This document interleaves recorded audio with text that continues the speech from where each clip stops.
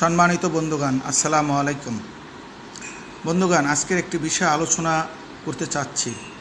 আমরা যারা শহরে এবং গ্রামে বিভিন্ন অঞ্চলে বসবাস করি, আমরা বিভিন্ন জায়গায় দেখতে পাই এই অসহায় দিনমজুর মানুষগুলোকে। তারা দেখেন কত কঠোর পরিশ্রম করছে এদেশের কল্যাণে এদেশের উন্নয়নের জন্য। অথচ আমরা তাদের সাথে একটু ভালো ব্যবহারও করতে পারি না। আমি অনেক সময় দেখতে পাই বিভিন্ন জায়গায় এই দিনমজুরি এবং গরিব মানুষগুলোর সাথে দুর্ব্যবহার করে থাকি। আমি আপনাদের সবাইকে অনুরোধ করব, অন্তপাক্ষে তাদের কোনো উপকারে আমরা না আসি, অন্তপাক্ষে তাদের সাথে একটু হাসি মুখে কথা বলি, তাদের একটু ভালো তাদের সাথে একটু ভালো ব্যবহার করি। এতটুকু কি তারা প্রাপ্য নয়? মা, বোন, আপনারা আমার প্রত্যেকেরই আছে। তাদের পাশে আজকের আমাদের আগা, আগিয়ে আসা দরকার।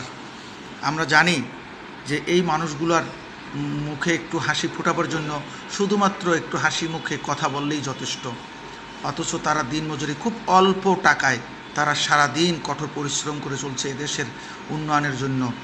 অথচ আমরা এদের কাছ থেকেই কিছু কেনাকাটা করতে গেলে আমরা তাদের সাথে দরদাম করি। দশ টাকার জিনিস আমরা পাঁচ টাকা দেবে কিনা জিজ্ঞেস করি। অথচ আমরা চাইনিজ রেস্টুরেন্টে খেয়ে, বড় বড় হোটেলে খেয়ে আর বকশিস দিয়ে আসি পাঁচশো টাকা, এক হাজার টাকা। অথচ এদের দশ টাকার জিনিস কিনতে গিয়ে বলি পাঁচ টাকায় দেবেন কিনা? খুবই দুঃখজনক। সবার কাছে অনুরোধ রইল, এদের কাছে আগিয়ে গিয়ে। তাই আমার অনুরোধ সবার কাছে, বন্ধুগণ, আমরা যার যার সামর্থ্য অনুযায়ী আমরা এগিয়ে আসি এই অসহায় দিনমজুরি মানুষগুলোর পাশে দাঁড়াতে হবে।